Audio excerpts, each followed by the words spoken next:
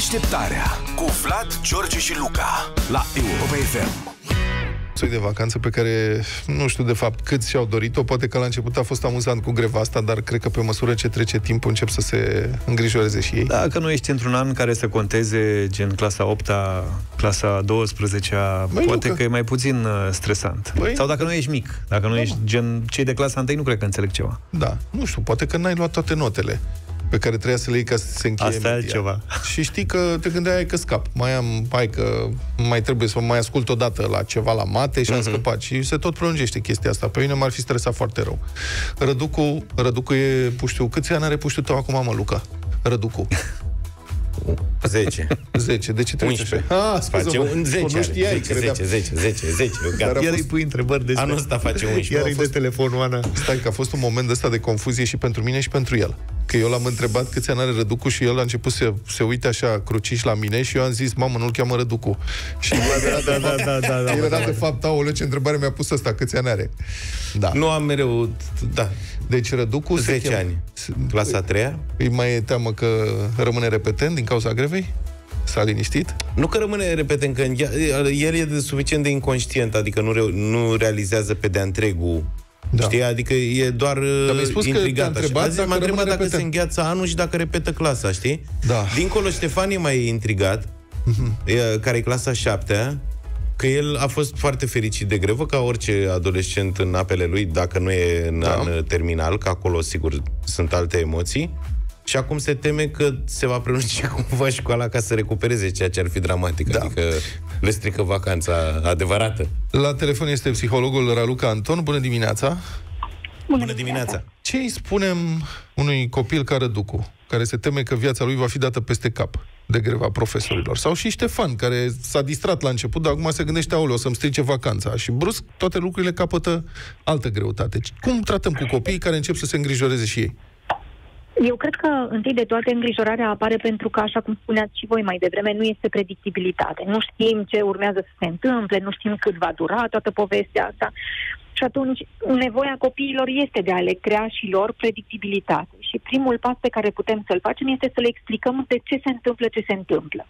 Cred că, dincolo de faptul că îi ajută să își așeze cumva informațiile, uh, este și un foarte bun moment de educație socială, de fapt asta, și de educație în, în a învăța să-ți cer drepturile și a învăța să vorbești despre ce, ceea ce te supără și ceea ce nu îți place în locul în care ești. Uh-huh. Și atunci aș porni cu asta, cu a putea să le construim copiilor o poveste despre experiența prin care ei trec, pentru că altfel ei, dragi de ei, la fel ca noi, adulții, doar că noi avem mai multe cuvinte și mai multe experiențe, vor tot căuta explicații pentru ce li se întâmplă. Uh-huh. Iar cu cât găsesc mai puține explicații, cu atât se îngrijorează mai tare. Și sigur că îngrijorarea aceea trebuie să prindă un contur și conturul pe care îl prinde este în cadrul școlii. Nu o să ni se încheie mediile, cine știe ce se întâmplă, cum spuneați și voi mai devreme, poate va trebui să recuperăm, când de foarte multe ori aceste întrebări au legătură cu nedumeririle lor despre de ce se întâmplă ce se întâmplă. Uh-huh. Doar că mintea caută o explicație în mediul lor înconjurător, în mediul lor apropiat. Bun, Raluca, dar sunt, e extrem de important. Sunt cel puțin două categorii de elevi acum, pentru care presiunea este mult mai mare. Adică este vorba da. de cei care stau sub presiunea examenelor de sfârșit de an. Admitere la liceu, bacalaureatul, acum e un factor suplimentar de incertitudine în viețile lor. Pe mine, eu am dat și treapta întâi și treapta a doua și bacul și examenul la facultate a fost stres foarte puternic. Adică mi-a fost frică de toate aceste examene, să recunosc da. că nu eram vreun geniu rătăcit la școală. Uh, ce faci cu copii, pentru, pentru cei mai mari e și perioada mai dură a pubertății, a adolescenței, comunicare mai dificilă. Cum relaționezi cu acești copii?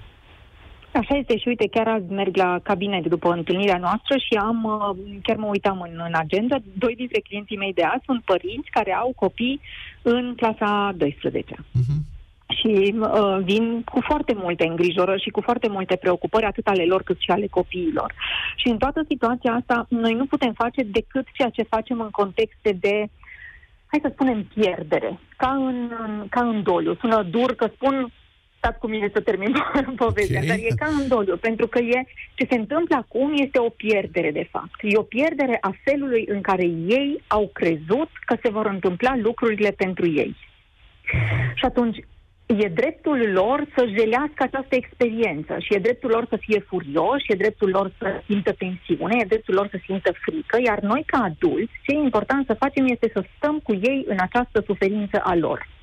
Și doar să validăm ceea ce li se întâmplă.